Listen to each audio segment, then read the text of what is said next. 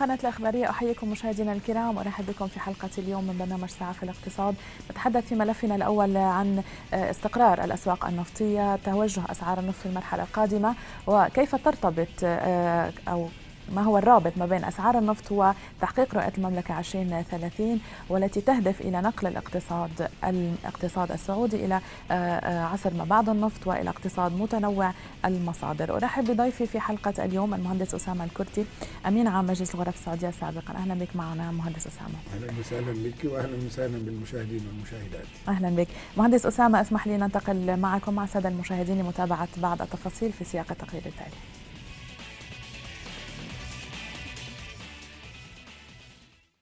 يستفيد الاقتصاد العالمي حاليا من استعادة السوق النفطية لتوازنها بوتيرة متسارعة في ظل الطلب القوي على النفط ونجاح اتفاق أوبك ورغم توجهات رؤية المملكة المستقبلية لتنويع مصادر الدخل تمثل الارتفاعات الحالية للسوق النفطية فوق مستوى 60 دولار للبرميل عاملا لمداخيل الميزانية العامة للمملكة. ويسمح هذا المستوى السعري لتوجيه الفوائض الإيرادية لمزيد من الاستثمارات التي تتجه حاليا لمجالات جديدة يتوقع أن تدر عوائد غير مسبوقة في القطاع غير النفطي.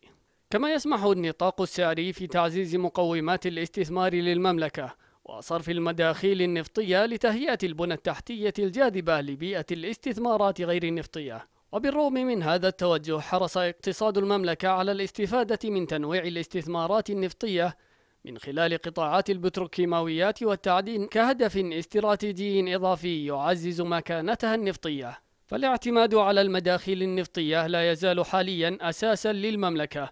في استقطاب وجذب الاستثمارات الحديثة مع حاجة هذه الاستثمارات إلى أحجام تمويل مرتفعة. وتظهر توجهات المملكة الاستثمارية التي تمضي فيها المملكة قدما وفق رؤيتها في قطاعات الطاقة المتجددة والخدمات والسياحة والتكنولوجيا بالإضافة إلى الذكاء الاصطناعي إلا أن التحدي لا يزال قائما في توطين تلك الاستثمارات على المدى المتوسط.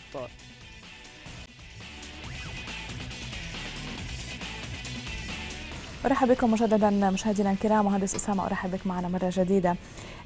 تسعى المملكة ودول منظمة أوبك إلى تحقيق استقرار في الأسواق النفطية.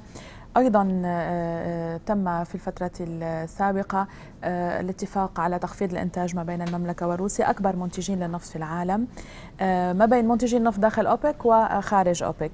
إلى أي مدى هذا الاتفاق حقق الاستقرار في أسواق النفط؟ بسم الله والصلاة والسلام على رسول الله. يعني أنت أثرتي نقطة مهمة جدا. نعم. هي الفارق بين اهتمامات المملكة بالبترول واهتمامات الدول الأخرى. المملكة لم تكن أبدا داعي إلى تدعو إلى رفع أسعار البترول وإلى يعني زيادة استفادتها من من من من الدخل. كانت المملكة دائما تكون هدف دائما هدفها والمعلن والمطبق هو البحث عن استقرار سوق البترول فيما يختص بالسعر وفيما يختص بكمية الإنتاج المتوفر للمستهلكين. نعم. وهذا يعني أمران مهمان. إذا أردنا أن يعني ندعم نمو الاقتصاد في الدول الأخرى وندعم الاستثمارات في الدول الأخرى سواء كانت بترولية أو غير بترولية. وبطبيعة الحال دعم الاستثمارات في المملكة. ويعني هذا أمر وصل إلى مرحلة أننا في قبل عدة عقود قررنا أن نلعب دور المنتج الموازن حتى نحقق هذا الاستقرار. وقد تكلفنا هذا الأمر كثيرا. ولكن هذه جزئية مهمة جدا موضوع الاستقرار في العلامات الحالية كما تعلمين أن سعر البترول تجاوز ال 60 دولار صحيح. قبل أربعة أو خمسة أيام. صحيح أنه بدأ في الانخفاض قليلا. ولكن أنا لن أعتقد لا أعتقد أن هذا الانخفاض حيستمر. هو انخفاض بسيط جدا خلال الأربع أو ثلاثة أو أربع أيام الماضية ولكنه انخفاض مؤقت في نظري. نعم. آه لأن المعلومة المهمة ذكرتيها هو اتفاق المملكة وروسيا المنتجين الرئيسيين أو المصدرين الرئيسيين للنفط في العالم على تثبيت الاتفاق الحالي الموجود داخل منظمة الأوبك وخارج منظمة الأوبك. على حجم الإنتاج الذي يعني يؤدي إلى هذا الاستقرار الذي نتحدث عنه. فأنا أتصور أن على المدى المطول على المدى القصير نعم. سيكون فعلا هناك استقرار في السعر. آه، لا أتوقع زيادات آه، كبيرة ولا أتوقع انخفاض كبير. آه، سيمر مرحلة يعني في المدى المتوسط سيمر مرحلة مهمة من ال ال ال ال الاستقرار في سعر البترول. وبالمناسبة الكثير من المختصين نعم. وأنا لست منهم يقولون أن ال ال أن سعر 6 دولار مناسب السعر المناسب للجميع. للمملكة ولروسيا كذلك مم. وللدول المنتجة حتى الدول المستهلكة ودول حتى المستهلكة كذلك فإذا نعم. سعر متوازن آه ومهم آه لكن يجب أن لا ننسى كذلك أن آه سعر البترول يتأثر بالقدرة الإنتاجية للدول وهذه ميزة مهمة جدا للمملكة أن لديها فائض في المقدرة الإنتاجية مم. بحيث أنه لو صار هناك طلب فالمملكة مستعدة أن أن تلبي هذا أن ال- تت- زيادة تغطيه. الإنتاج وكذلك في المقدرة التصديرية مم. يعني توجهاتنا الكبيرة لضمن رؤية 2030 ل- لرفع آه، حجم إنتاجنا للطاقة من ال- من ال- المصادر المتجددة كال- كال- كالطاقة الشمسية وال- والرياح سيخفض من استهلاكنا المحلي للبترول نعم. وبالتالي يزيد من مقدرتنا على تصدير هذا النفط. وهذه طيب. ميزة غير موجودة في روسيا بالمناسبة. ممتاز. آه، مهندس أسامة إلى أي مدى يمكن القول أن الإنتاج الذي تحقق الاتفاق الذي تحقق بتخفيض الإنتاج أدى آه، إلى تحقيق الأهداف المرجوة بإعادة التوازن بين العرض والطلب وبالتالي رفع الأسعار بناء على العوامل الأساسية وهي ال- التوازن بين العرض والطلب. دائما تقول السعودية أنها لا تريد أن تلجأ إلى تخفيض الإنتاج لكي مم. ترفع الأسعار. وكما ذكرت سابقا اهتمامهم هو بالاستقرار. نعم. والاتفاق الذي تم يعني في في في, في تفاصيله آه، يركز على موضوع تثبيت الإنتاج بدلا عن تخفيض الإنتاج.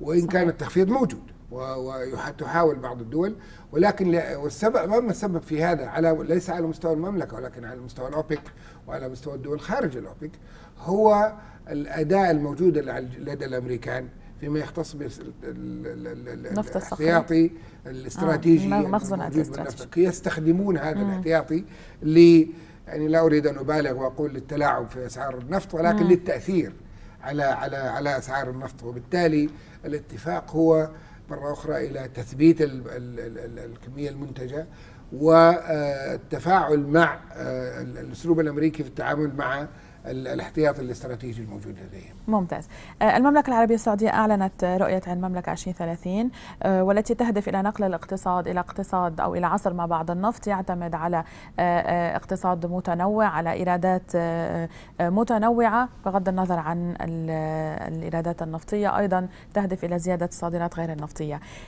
إلى أي مدى تذبذب أسعار البترول يؤثر سلبا في تحقيق هذه الرؤية؟ آه، العلاقة بين الرؤية وبين سعر البترول مهمة جدا. مم. لأن آه، كما فهمت الرؤية وكما يعني آه، درستها وحللتها الغرض الأساسي منها هو تخفيض الاعتماد على البترول في الاقتصاد السعودي مم. وطالما يعني بعض الأحيان أقول أن يعني ال ال ال ال ال ال هناك ميزة لانخفاض أسعار النفط وهي أنها أوجدت دافع مم. للمملكة العربية السعودية لتنويع اقتصادها نعم. فإذا الغرض الأساسي من ال- ال- الرؤية كما أفهمها هو تخفيض الاعتماد على النفط كمصدر أساسي للدخل في المملكة العربية السعودية صحيح وللميزانية الحكومية وبالتالي ال ال ال ال ال ال يعني الارتفاع العالي لأسعار النفط قد لا يكون في صالح تنفيذ آه، الرؤية مم. ولهذا السبب آه، يعني رؤية عفوا رأي رؤية مهمة أهداف رئيسية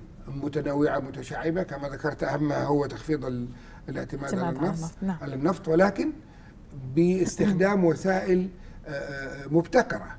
في ال- يعني في تاريخ المملكة العربية السعودية ينخفض اسعار النفط نسحب من الاحتياطيات ترتفع اسعار النفط ف يعني نزيد الاحتياط. نرفع حجم الاحتياطيات. ولكن الطريقة المبتكرة حاليا هي فتح أبواب جديدة في الاقتصاد صحيح. دعم تواجد القطاع الخاص السعودي والأجنبي في الاقتصاد- التركيز على الابتكار والمعرفة نعم. ويعني عندما نتحدث عن آه، آه، آه، ال- ال- القطاعات الجديدة في مشروع نيوم نعم. مثلا تسعة قطاعات مبتكرة تماما.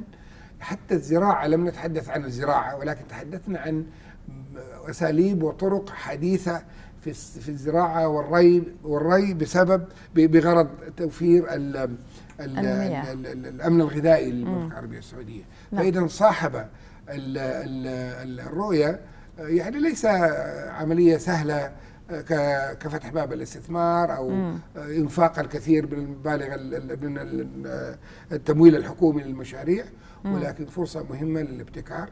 وأذكر بحديث صاحب السمو الملكي الامير محمد بن سلمان عندما أخرج تليفونين جواله وقال هذا وضعنا الحالي وهذا وضعنا الجديد. نعم. فيعني هذه يعني مثال ممتاز ليس فقط المشروع اليوم ولكن للرؤية بشكل عام. نعم. طيب. تفضل.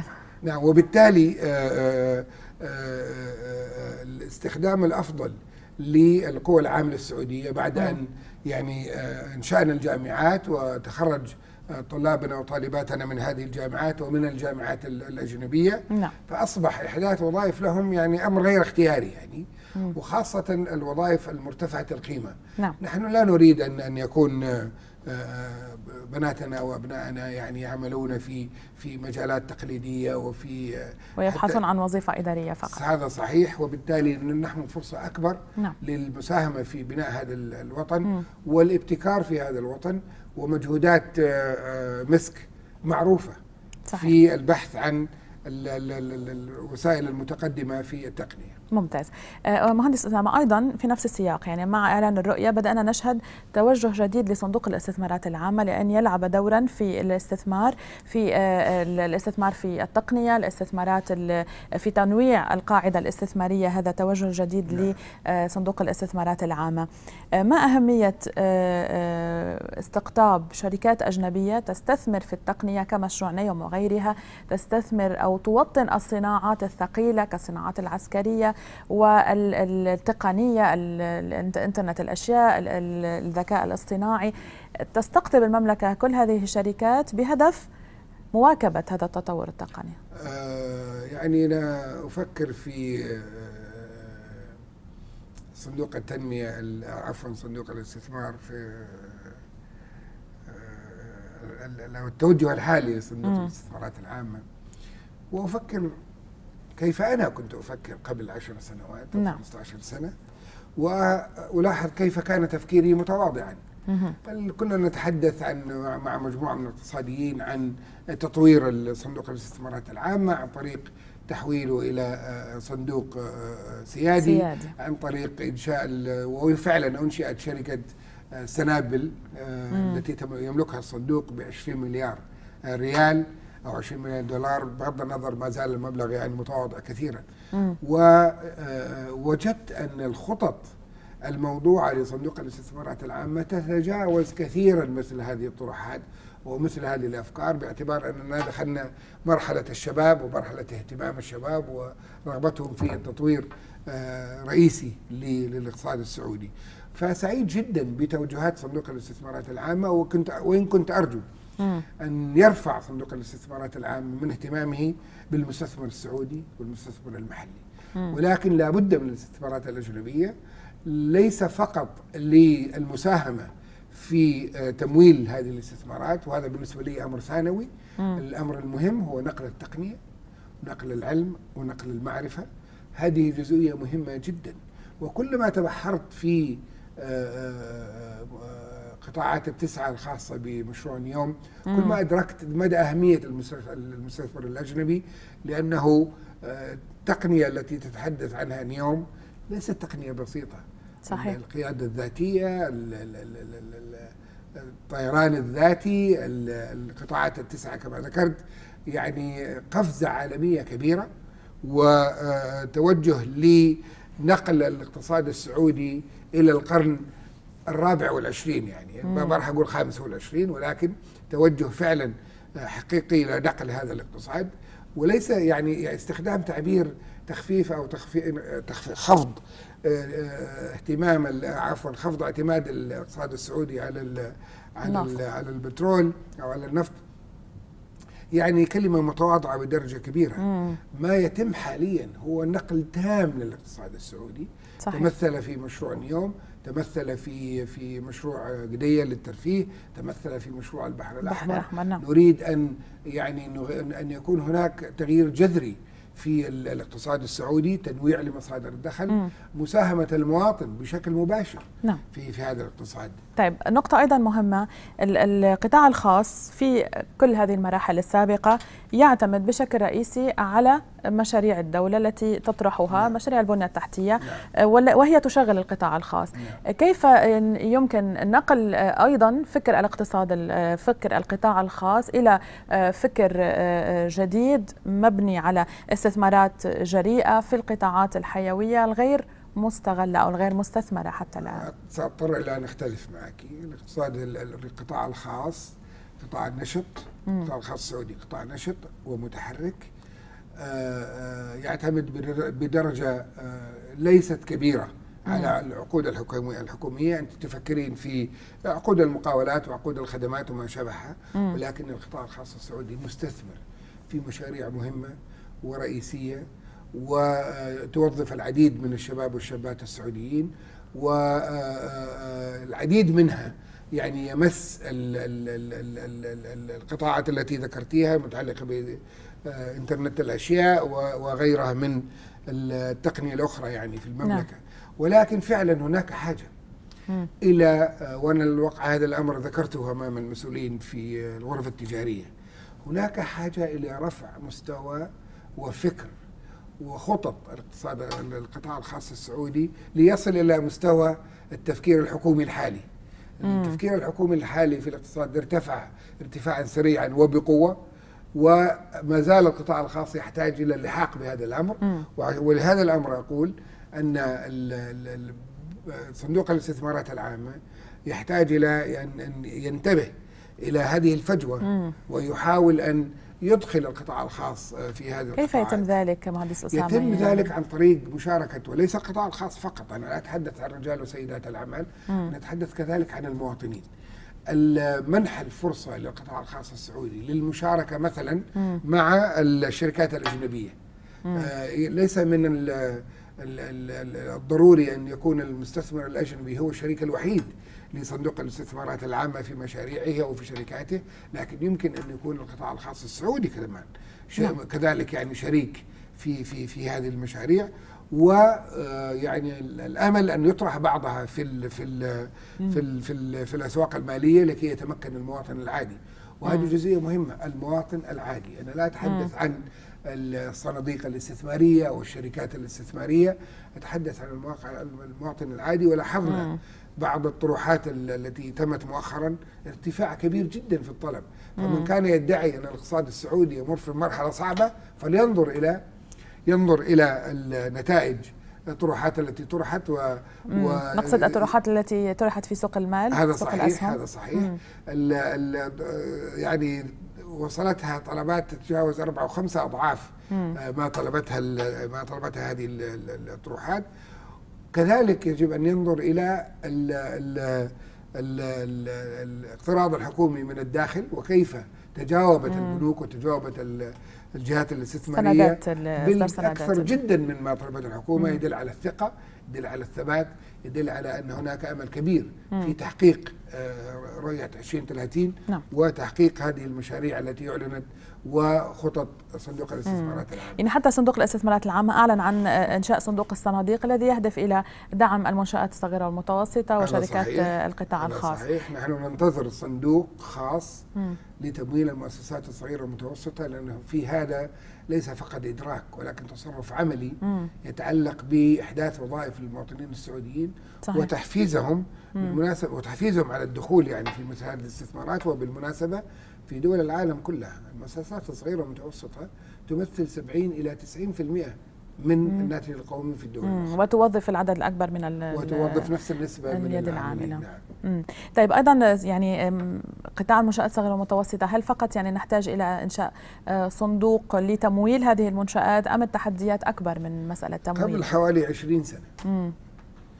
وكنت أتحدث في مؤتمر هنا في الرياض نعم عن المؤسسات الصغيرة والمتوسطة وذكرت أن هذه المؤسسة تحتاج إلى ثلاثة أمور يجب أن نهتم فيها مم.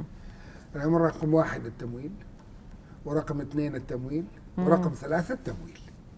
اعترض بعض الموجودين على هذه الفكرة ولكني أكدت من خبرة ومن دراسات ومن تحاليل ومن مقارنات عالمية أنه إذا وفرنا التمويل للمؤسسات الصغيرة والمتوسطة فنحن وفرنا 90% من احتياجاتها. مم. يأتي بعد ذلك آه، توفير الخبرة توفير الأسواق التدريب تسهيل الإجراءات. تسهيل الإجراءات هذا مم. موضوع مهم جدا مم. وأرجو أن يعني يرتفع مستوى اهتمام الدوائر الحكومية بتسهيل الإجراءات ويجب أن يكون هناك إجراءات مختلفة للمؤسسات الصغيرة والمتوسطة عن عن عن الشركات الأخرى. ولكن في الدرجة الأولى والثانية والثالثة هو التمويل. طيب آه، مهندس أسامة إذا نحن آه، أمام نقلة نوعية للاقتصاد آه، أمام تحديات جديدة تواجه ليست يعني تحديات ليست عقبات وإنما فرص جديدة للاستثمارات النوعية. نعم. ما المطلوب أيضا لتحقيق هذه الأهداف؟ هناك مجموعة من الاحتياجات التي يحتاجها أي اقتصاد وبشكل عام. البنية التحتية تتحدث عن المقاولات والتي يعني الحكومة تقدمها للقطاع الخاص وهذا جزء مهم كما ذكرت لك. نعم هناك حاجة للاستمرار في بناء البنية التحتية وبالذات البنية التحتية الإلكترونية المتعلقة بالاتصالات ونقل وتقنية المعلومات. بنية تحتية ما زالت تحتاج إلى تطوير. يجب أن يكون هناك آه، آه، تحفيز لشركات الاتصالات في المملكة لكي تستثمر آه، في مثل هذه الأمور. التعليم والتدريب موضوع مهم جدا. يعني لما كنت سعيدا عندما علمت أن آه، الجامعات السعودية لم تتمكن لم ليست في موقع يسمح لها بقبول كل خريجي الثانوية العامة وأنا أعتقد هذا أمر يجب أن يتغير. ال ال كما هو الحال كما هو المثال الذي ذكرته بين آه، وضع الفكر الحكومي في الاقتصاد ووضع القطاع الخاص في الاقتصاد. نحتاج كذلك إلى رفع مستوى التعليم في المملكة ليصل إلى مستوى الفكر الحكومي في الاقتصاد لأن ما زال يعني الكثير من من جامعاتنا يخرجون يخرجون آه، مخرجات تقليدية لا لا تتناسب مع العصر الحديث. آه، ما زالت الغرفة التجارية تحتاج إلى تطوير أسلوب عملها وطريقتها كذلك لكي تتناسب مع آه، متطلبات الرؤية ومتطلبات مشاريع الاستثمارية الجديدة ومشاريع صندوق الاستثمارات العامة. فهذا هذه البنية التحتية كلها مطلوبة ولدينا في صاحب السمو الملكي الأمير محمد بن سلمان آه، آه، يعني آه، قيادة مميزة وأداة مهمة هي صندوق هي مجلس التنمية الاقتصادية والتنمية, والتنمية. وهذه وهذه أداة مهمة جدا آه، تستطيع أن تصل لكل نواحي المملكة العربية السعودية حتى كما ذكرت يكون الفكر والعمل متقارب. طيب هذا أسامة أيضا يعني أشرت إلى نقطة مهمة مخرجات التعليم. آه وإن كانت هناك فجوة ما بين حاجة آه أو تباعد ما بين حاجة سوق العمل والاختصاصات التي آه يتخرج منها الطلاب. آه، أيضا المرحلة القادمة آه، تفتح آفاق جديدة آه، تخلق فرص وظيفية جديدة نوعية تقنية وتلغي وظائف موجودة الآن ستصبح ستغيب في المراحل القادمة نظرا لهذا التطور التقني.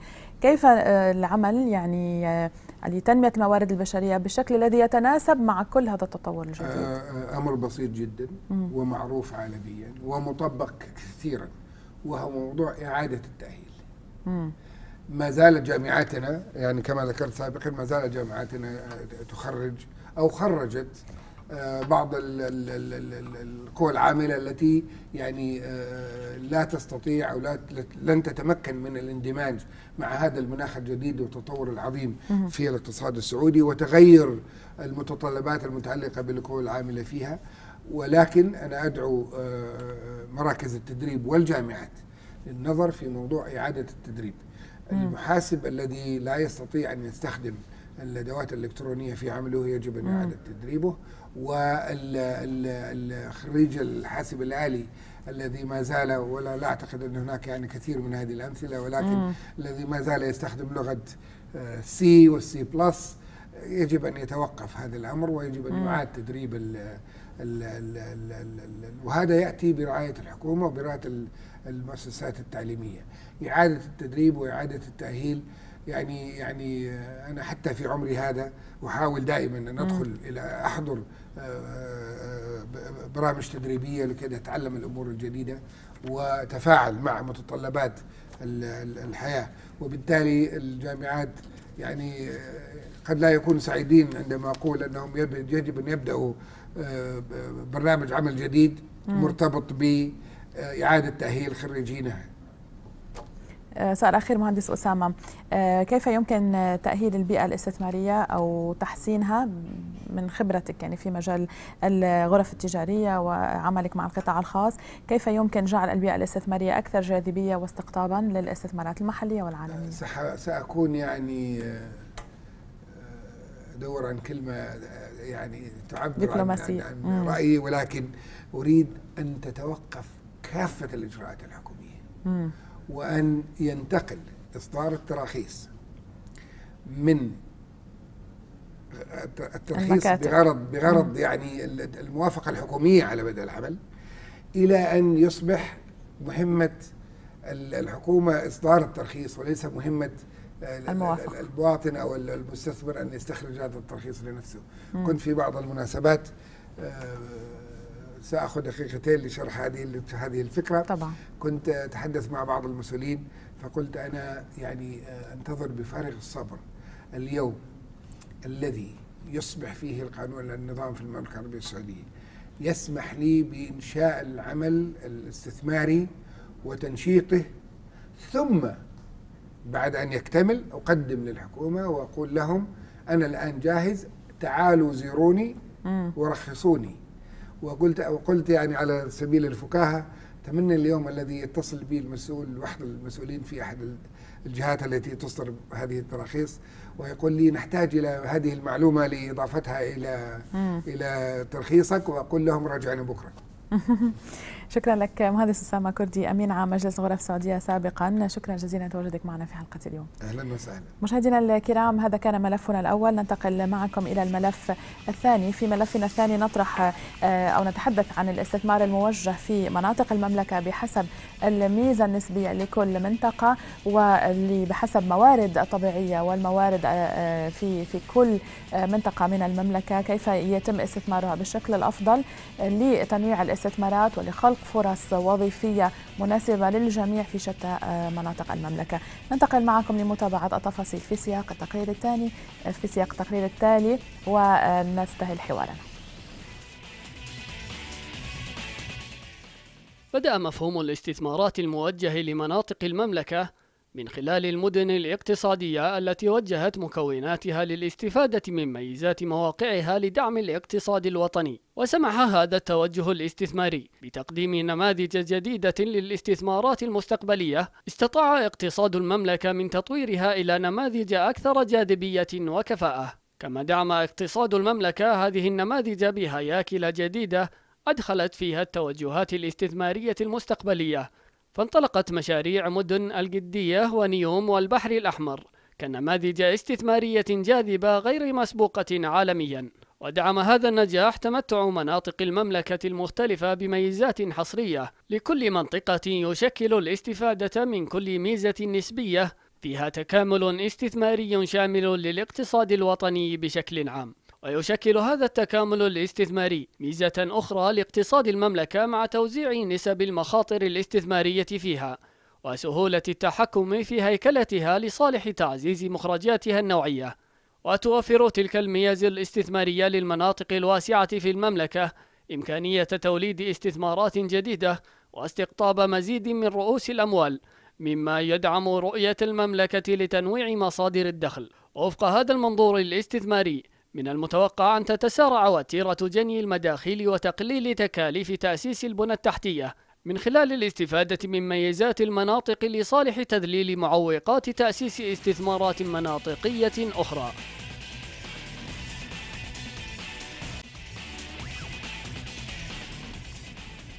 أرحب بكم مجددا مشاهدينا الكرام وأرحب بضيفي في الاستوديو المهندس محمد الشراري كاتب وإعلامي في صحيفة المدينة. أهلا بك معنا مهندس محمد. حياك الله يا مرحبا. الله يحييك. عندما نتحدث عن الاستثمار الموجه ماذا نقصد بالاستثمار الموجه خاصة وأن المملكة تتجه الآن إلى تطوير قطاعات ومدن لم تكن مطورة الآن في شتى أنحاء المملكة؟ آه، أول شيء بسم الله الرحمن الرحيم يعطيك العافية. آه، نقصد في الاقتصاد الموجه طال عمرك اللي هو إيجاد آه، فرص وبدل أخرى للاقتصاد السعودي. يعني بما ان السعودية هي كانت تعتمد في السابق على الصادرات النفطية ولكن في الاقتصاد الموجه نسعى إلى رفع الصادرات الغير نفطية من 16 إلى تقريبا 50% كذلك الاعتماد على تعزيز دور المؤسسات الخاصة في رفع استثمارها وتعزيز دعمها آه، من 45 إلى 65% وهذا يسهم في تنوع الموارد الاقتصادية إلى المملكة بشكل عام وخلق فرص وظيفية واستثمارات كبيرة في المملكة وخصوصا المدن. نعم. ما هي أبرز المميزات التي التي تميز المناطق المختلفة من المملكة؟ نتحدث عن المدن التي يعني لم تستثمر فيها الموارد الطبيعية والجغرافية وغيرها من الموارد بالشكل المناسب يعني لو نتكلم مثلا عن الشمال بما أني في الشمال. نعم. آه خلي يكون حديثنا عن منطقة الجوف أو تبوك أو الحدود الشمالية. آه منطقة الجوف هي منطقة محورية تجمع ثلاث قارات. أيضا هي بوابة الوطن وأكبر بوابة آه، في الشرق الأوسط تقريبا اللي هي منفذ الحديثة. نعم. كذلك تتميز في السياحة آه، آه، يعني مورد من موارد السياحة. فيها أقدم مستوطنة اللي هي مستوطنة شويحيه في في العالم كامل وفي التاريخ مم. اللي في عندنا. أيضا موارد كثيرة الأحجار الجيرية أيضا بحيرة دومه الجندل. التي أقيم فيها قبل فترة اللي هو كرنفال اليوم الوطني ويعتبر من أكبر الكرنفالات في السعودية نعم. آه أيضا المحميات أيضا لو تكلمنا حتى عن الإنتاج والتنوع الزراعي لو وجدنا أنها تضم آه مشاريع الضخمة في السعودية اللي بسيطة وتضم أتوقع تكون 20% تمثل من الاقتصاد الزراعي للسعودي آه كل ما نحتاجه فقط في منطقة الجوف هي آه تأهيل البنية التحتية نعم. آه ومن أجل تعزيز الاستثمار واستقطاب رؤساء الأموال مم. يعني في شكل عام آه السعودية أو رأس المال بشكل عام آه جبان يبحث عن الفرصة التي يستثمر فيها ويكون هامش الربح لها أعلى مم. فهنا بشكل سريع إيه بشكل. سريع آه منطقة الجوف آه بشكل عام آه الموارد الاقتصادية إنه استثمرت بالشكل الصحيح مم. كان هذا مساهم جدا في تعزيز المصادر المالية والاقتصادية للسعودية أعتقد أكثر من مم. المتوقع مم. وخصوصا انها ما زالت يعني منطقة بكر يعني ال ال الذي تحتاجه هذه المناطق هو فقط التمويل أو ضخ رؤوس أموال فيها تحتاج شوفي هنالك الكثير من المعوقات. أول شيء البيروقراطيه في العمل. آه عدم آه آه اللي هو إصدار التراخيص ووجود الأراضي تعقيد الإجراءات تعقيد الإجراءات آه الروتينية. يعني قبل فترة كان في مناطق في منطقة الجوف وعدد من المحافظات. آه اتى مستثمرين يبغون يسوون فنادق خمس نجوم بحكم إن المنطقة حدودية. مم. وتضم بلاد الشام أيضا آه، بجوارنا ما شاء الله البحر الأحمر تبوك وما تبوك. آه فكانت الإجراءات الروتينية آه، في بعض الدول الحكومية أعاقت آه، من استقطاب المستثمرين لا سيما أن حتى الهيكل التنظيمي آه، للبنية التحتية م. إلى المنطقة إلى الآن لم يتم اعتماده أو رفعه آه، لوزارة الشؤون البلدية والقروية. م. فالإجراء الروتيني المتخذ والمتبع في بعض الدوائر الحكومية يصيب المستثمر بالنفور ويجعله. يبحث سواء كان عن أماكن أخرى أو طرق أخرى يستثمر بها بشكل أسرع وذات عائد مادي بشكل سريع له. امم طيب اذا هذه بالنسبة هذا بالنسبة للتحديات عندما نتحدث أيضا عن الاستثمار. يعني هل الدولة تتجه إلى آه، استثمارات جديدة في هذه المناطق كما آه، هو الحال في آه، الهيئة الملكية للعلا والذي أعلن يعني هذا المشروع الذي أعلن مؤخرا مشروع البحر الأحمر. هل هل تحتاج هذه المدن أيضا إلى مشاريع تتبناها الدولة يتبناها صندوق الاستثمارات تتبناها الحكومة أم بالإمكان لأي شركات صغيرة أي مستثمر أن يستثمر فيها. لا بالعكس ما زالت بحاجة. أنا قبل فترة نشرت مقال في صحيفة المدينة كان بعنوان المنطقة الحرة في قلب الشمال. وقلب الشمال أقصد فيها منطقة الجوف الموقعها الاستراتيجي تجمع عرعر الحدود الشمالية. وبجوارها دولة العراق الشقيقة جمهورية العراق. أيضا آه، تبوك أيضا حائل عروس الشمال. فموقع الجوف مميز استراتيجيا على مستوى ليس بالمستوى المحلي ولكن على مستوى الخارطة بشكل عام.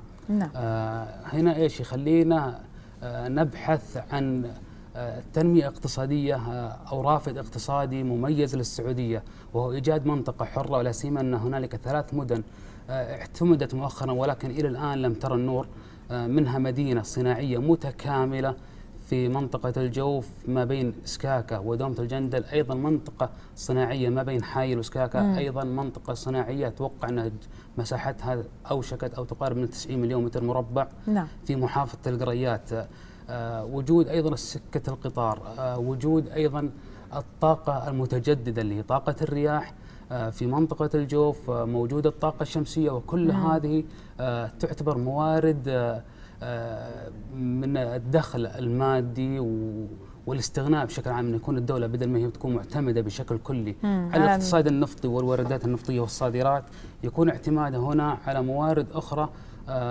تنوع بشكل عام التنوع الاقتصادي آه، عندما تضع الدولة رأس مالها في أكثر من مجال اقتصادي مم. يكون آه، مؤشر الخطر الاقتصادي والخسارة أقل بكثير مخاطرة أقل. نعم. طيب هل هل هناك مشاريع في المنطقة الشمالية للاستفادة من طاقة الرياح والطاقة الشمسية بشكل عام الطاقة المتجددة؟ هل من مشاريع أطلقت؟ طبعا أطلق مشروعين في منطقة الجوف مؤخرا نعم. وإن شاء الله في القريب أعتقد أن حسب المعلومات عندنا سوف يوضع حجر أساس مشروع آه، طاقة الرياح التوربينات الهوائية في الجوف 300 آه، ميجا واط أيضا مشروع الطاقة الشمسية 400 ميجا واط أو العكس 300 أو 400 آه يعني هذه في منطقة الجوف يعني آه نتمنى حتى انه يكون هناك في استثمار سياحي في منطقة الجوف بشكل أكبر. نعم. لا سيما ان هنالك اعتمدت مؤخرا بطولة آه, آه، الدبابات البحرية آه يأتونها من الخليج بشكل عام حتى تقوم هناك مسابقات وهي البحيرة الوحيدة آه على مستوى السعودية. اعتقد ثاني بحيرة هي في الشرق الأوسط بشكل عام. نعم. بحيرة متكاملة آه، من مياه طبيعية موارد طبيعية وانتجت في عز الصحراء وشاهدنا الكثير من الإعلانات لها عبر التلفاز والقنوات الفضائية نعم. آه، يتحد تتحدث جميع هذه عن أهمية منطقة الجوف اقتصاديا آه، لو تم استثمارها بالشكل الصحيح ولكن حنا ما نحتاجه الآن فقط هو دعم المؤسسات وحتى نستطيع جذب رؤساء الأموال سواء كان في الخارج أو في الداخل للاستثمار في المنطقة. طيب آه، أستاذ محمد أيضا يعني أبناء هذه المناطق آه، من شباب وشب وشابات يعملون يعني قد يتجهون إلى المدن الرئيسية كالرياض وجدة للعمل.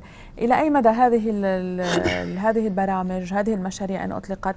تفتح أو تخلق فرص وظيفية للعديد و آه، يعني يعني تخلق لهم فرص في هذه المناطق وتغنيهم عن العمل في أو التوجه إلى المدن الرئيسية كالرياض وجدة طبعا آه، من الأهداف لرؤية 2030 هو خفض نسبة البطالة إلى 7% تقريبا. نعم. آه، عندما نوجد مؤسسات استثمارية في منطقة الجوف أو في الشمال عامة طبعا هذا يكون مردودها الاقتصادي على الوطن. نضمن هنا آه، مدى رفاهية عالية للمواطن. آه، نضمن بخلق فرص وظيفية كبيرة وضخمة آه، في المنطقة بشكل عام. يعني راح يحد فعلا من المركزية. يعني في السابق كان اعتماد المملكة بعيدا عن النفط على الرياض على الشرقية المنطقة مم. الشرقية على جدة. ثلاث موارد طبيعية كانت للسعودية.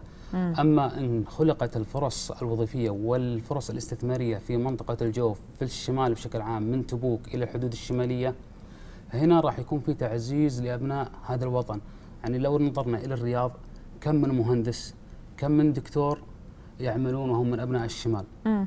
وكم من حادث يعني الاستثمار ليس فقط في الاستثمار المالي ولكن هناك استثمار فكري حتى على مستوى الجامعات آه، في مؤخرا أطلق اللي هو الأمن السبراني أيضا. آه، ما زلنا بحاجة إلى تنوع موارد الاستثمار آه، حتى نستطيع فعلا إيجاد آه، وخلق فرص وظيفية آه، لأبناء المنطقة آه، مما يساهم ويعزز التنمية الاقتصادية في هذا الوطن. آه، هل آه، يعني هناك حاجة أيضا لاستثمارات آه، سياحية بشكل رئيسي يعني هل هي فقط استثمارات سياحية حدثنا عن الموقع الجغرافي عن آه، آه، مواقع أثرية مواقع آه، طبيعية في هذه المناطق هذا ما يتعلق بالاقتصاد السياحي هل من قطاعات أخرى يمكن استثمارها أيضا في هذه المناطق؟ آه، طبعا منطقة المنطقة الشمالية بشكل عام. تضم منطقتين حرة.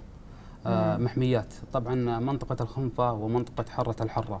مم. آه، فيها طبعا من الثروة الحيوانية وخصوصا بعد بعض الحيوانات النادرة في هذه المنطقة. هذا يعتبر نوع من أنواع الاستثمار إذا تم استثماره بشكل صحيح وتم توجيهه وتأسيسه بالشكل الصحيح. أيضا آه، الثروة الزراعية وخصوصا إن منطقة الجوف بشكل عام فيها أكثر من 23% من إنتاج الزيت والزيتون في المملكة العربية السعودية مهم. وإنتاج أيضا الإعلاف كذلك نعم آه، إنتاج الزيتون 66% مم. الزيت والزيتون آه، فلو نظرنا حتى الأسواق المحلية في منطقه في المملكة بشكل عام لو وجدنا نعم. أنها تستورد من الأردن تستورد من تركيا من دول خارجية آه، رغم أننا نستطيع أن يكون هنالك اكتفاء ذاتي في المحصول والإنتاج الزراعي في مم. منطقة الجوف لو دم آه، لو تم فعلا دعمه من قبل صندوق الاستثمار بشكل صحيح وتعزيز آه، الشراكة ما بين المؤسسات والأفراد والصندوق بشكل عام. طيب آه، ما هي الصادرات إذا التي آه، يعني آه، ما هي ال- ال- ال- المنتجات التي يمكن تصديرها والتي تميز المملكة إن كان في جودتها وفي أسعارها آه، وتجعلها تنافسية في الخارج آه، طبعا إنتاج الأعلاف. آه، إنتاج القمح نعتبر من ضمن آه، أفضل الدول يعني تصدير الشيء هذا. آه، أيضا الفواكه.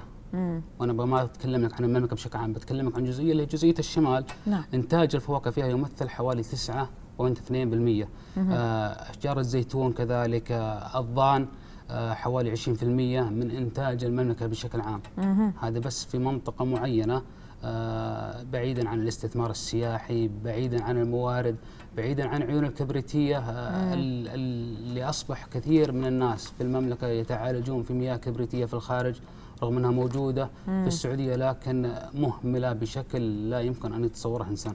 العيون الكبريتية وهذا يعني مورد آه، اقتصادي استثماري سياحي للمملكة طيب آه، فيما يخص الزراعة هل هي آه، تستخدم فيها التقنيات الحديثة أم ما زالت ما زالت أيضا تقليدية؟ لا لا طبعا الزراعة في منطقة بسيطة مشاريع ضخمة جدا. آه، من دون ذكر أسماء شركات حتى لا يصنف إلى تسويق أو شيء ذكر مم. الأسماء آه، أغلب ما نراه في الأسواق وفي المحلات آه، كله من إنتاج منطقة الجوف تقريبا. آه، سواء كان من منتجات آه، حيوانية أو من منتجات زراعية وهذا طبعا ما يتم إلا عن طريق شركات ضخمة. آه، نقلت آه، تجربة دول في الخارج إلى الأراضي السعودية. وهنا يعني يسعدني إني أعرج على نقطة مهمة وهي ضرورة التعاون ما بين الشركات في الداخل والخارج لإكساب مم. أبناء هذا الوطن نوع من أنواع الخبرة. نعم. آه، لتعزيز كفاءات أكثر. يعني. هذا نقطة مهمة مم. جدا نحتاج أيضا إلى استقطاب شركات أجنبية تنقل خبراتها وتنقل آه، يعني ال- التطور التقني في في هذه الصناعه طبعا أكيد لأن السعودية بشكل عام أو مو بس السعودية ليس هنالك دولة تستطيع آه، أن تعتمد أو تكون اقتصادها آه، منفصل عن الاقتصاد الخارجي، إحنا صحيح. أصبحنا جزء لا يتجزأ من الاقتصاد الخارجي، فهذا الموضوع أن وجود الشركات المساهمة في الأراضي السعودية من الخارج يعزز آه، من آه، التثقيف والتطوير الأيدي العامله في السعودية، إكساب الخبرات مم. آه، في مجال جديد سواء كان مجال الزراعة، مجال الصناعة، مجال الاستثمار السياحي بمختلف الأنواع الاستثمارية. طيب آه، ما بدك اكتمال البنية التحتية في هذه المدن؟ من مستشفيات مدارس جامعات آه، وغيرها من الخدمات الأساسية التي تحتاج إليها كل كل منطقة؟ آه لربما يزعل بعض الناس خصوصا بعض المسؤولين عندنا في منطقة الجوف لكن فليسمحوا لي بالشيء هذا آه ما زالت البنية التحتية تحتاج للكثير الكثير سواء كانت آه آه من بنية إلكترونية أو غيره عندنا في منطقة الجوف. نعم. يعني إلى الآن ما زالت نوعا ما متخلفة لكن نأمل إن شاء الله في الأيام القادمة أن يتم إن شاء الله التركيز على البنية التحتية حتى نستطيع أن نجد أرض خصبة ولا سمينها أرض بكرة لاستثمار وبناء شركات ونفق دول إنها تنفق الدولة عليها بشكل صحيح أن تكون خارطة الاستثمار في السعودية واضحة حتى نعرف آه هذه المنطقة سوف يتم دعمها في المشروع الفلاني. المنطقة هذه حسب احتياج المنطقة. ممتاز. شكرا لك الأستاذ محمد شلالي كاتب وإعلامي في صحيفة المدينة وصلنا معك إلى ختام حلقتنا. شكرا جزيلا شكرا مقدر لك أنت وجميع المشاهدين. شكرا لك. مشاهدينا الكرام وصلنا معكم إلى ختام حلقتنا. لهذا اليوم أشكر طيب متابعتكم وإلى اللقاء.